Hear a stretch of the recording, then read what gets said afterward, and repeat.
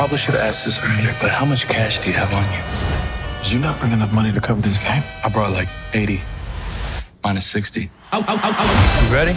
Born ready. What's up with your boy? He's almost done.